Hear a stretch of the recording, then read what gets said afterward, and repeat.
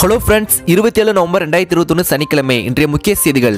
மேட்டூர் அணை நீர்மட்டம் சனிக்கிழமை காலை நூற்றி இருபது புள்ளி பத்து அடியாக இருந்தது சிங்கப்பூரில் போதை மருந்து கடத்தல் வழக்கில் மரண தண்டனை விதிக்கப்பட்ட மலேசிய தமிழர் நாகேந்திரன் கே தர்மலிங்கத்தை தூக்கிலிடுவது குறித்து வரும் செவ்வாய்க்கிழமை நீதிமன்றம் முடிவெடுக்க உள்ளது. ஆதிதிராவிட இளைஞர்களுக்கு தொழில் மேலாண்மை பயிற்சிகள் அளிக்க ரூபாய் ரெண்டு கோடி நிதி ஒதுக்கி தமிழக அரசு உத்தரவிட்டுள்ளது. ஒலிம்பிக் பாராலிம்பிக் வெற்றியாளர்களை மட்டுமின்றி பதக்கத்தை தவறவிட்ட வீரர்களையும் எல்ஐசி கௌரவித்துள்ளது. அண்ணா பிறந்தநாளை முன்னிட்டு எழுநூறு கைதிகள் விடுதலை செய்யும் போது பேரழிவான் உள்ளிட்ட ஏழு பேரும் விடுதலை செய்ய வேண்டும் என்று தமிழர் தேசிய முன்னணி தலைவர் பல நெடுமாறன் வலியுறுத்தியுள்ளார். அரசமைப்பு சட்டத்தின் முக்கியத்துவத்தை பொதுமக்கள் உணர்ந்திட வேண்டும் என ஆளுநர் ஆர் என் ரவி கேட்டுக்கொண்டுள்ளார். தமிழகத்தில் மேலும் எழுநூத்தி நாற்பத்தாறு பேருக்கு கொரோனா தொற்று உறுதி செய்யப்பட்டுள்ளது. இது கடந்த வியாழக்கிழமை பதிவான பாதிப்பை காட்டிலும் சற்றும் அதிகமாகும். கொரோனா தொற்றால் பாதிக்கப்பட்ட நடிகர் கமலஹாசன் தற்போது குணமடைந்து வருவதாக ஸ்ரீ ராமச்சந்திரா மருத்துவமனை தெரிவித்துள்ளது. தமிழகத்தில் மருத்துவத்துறையில் புதிதாக தோற்றுவிக்கப்பட்ட ஏழாயிரத்தி இரநூத்தி தொண்ணூற்றி ஆறு பணியிடங்கள் விரைவில் நிரப்பப்படும் என்று மக்கள் நலத்துறை அமைச்சர் மா. சுப்பிரமணியன் தெரிவித்துள்ளார்.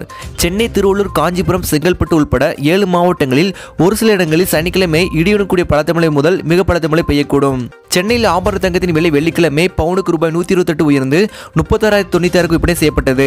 தரவு மையங்களுக்கான துறையில் தமிழகத்தை முதன்மை மாநிலமாக்குவதை நோக்கமென அதற்கான வெளியிட்ட தனித்த கொள்கையை தெரிவிக்கப்பட்டுள்ளது.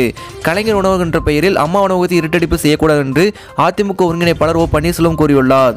தெற்கு அந்தமான் கடல் பகுதியில் நவம்பர் இருபத்தொன்பதாம் தேதி புதிய குறைந்த காற்றழுத்த பகுதி உருவாக வாய்ப்புள்ளது. அறிவுத்துடன் படைத்த தமிழ் இளைஞர்களுக்கு கூடுதலாக திறன் பயிற்சிகள் அளித்து பணியமர்த்திக் கொள்ள வேண்டும் என தொழில்நுட்ப நிறுவனங்களுக்கு முதல்வர் மு க ஸ்டாலின் கோரிக்கை விடுத்துள்ளார். வாக்காளர் பட்டியலில் பெயர் சேர்ப்பு நீக்கல் பணிகளுக்கான சிறப்பு முகாம்கள் சனிக்கிழமை மற்றும் ஞாயிற்றுக்கிழமையில் நடைபெறுகிறது. பெண் குழந்தைகள் வாழ்ந்ததாக போராட வேண்டும் யாரும் தற்கொலை செய்து கொள்ள வேண்டாம் என்று முதல்வர் மு க ஸ்டாலின் வேண்டுகோள் விடுத்துள்ளார். ரயில் மோதியதில் தண்டவாளத்தை கடக்க முயன்ற மூன்று யானைகள் பலியாகியிருக்கிறது. தமிழகத்தில் கடந்த இருபத்தி நாலு மணி நேரத்தில் புதிதாக எழுநூற்றி நாற்பத்தாறு பேருக்கு கொரோனா வைரஸ் தொற்று உறுதி செய்யப்பட்டுள்ளது. இன்று மட்டும் பதினோரு பேர் உயிரிழந்துள்ளனர்.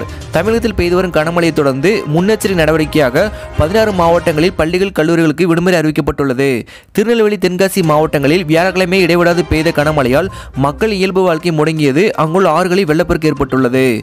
மூலனூர் கரையூர் அருகே அமராவதி ஆற்றில் வெள்ளப்பெருக்கு எடுத்து ஓடுவதால் பொதுமக்களுக்கு எச்சரிக்கை விடுக்கப்பட்டுள்ளது. இத்துடன் செய்திகள் முடிவடைந்தன. மேலும் செய்திகளை உடனே தெரிஞ்சு வச்சிங்கன்னா கீழே சப்ஸ்கிரைப் பண்ணி கிளிக் பண்ணி சப்ஸ்கிரைப் பண்ணி வச்சுக்கோங்க. கூட ஒரு பெல்லைக்கன் கிளிக் பண்ணி வச்சுக்கோங்க. அப்போ தான் அடுத்தது போகிற வீடியோஸ்லாம் பார்த்தீங்கன்னா உடனே நோட்டிஃபிகேஷன் வந்துடும் அடுத்த ஒரு பதிவு சந்திக்கலாம். வணக்கம்.